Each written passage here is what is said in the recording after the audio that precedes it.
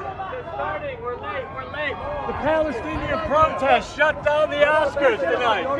Humanity wins.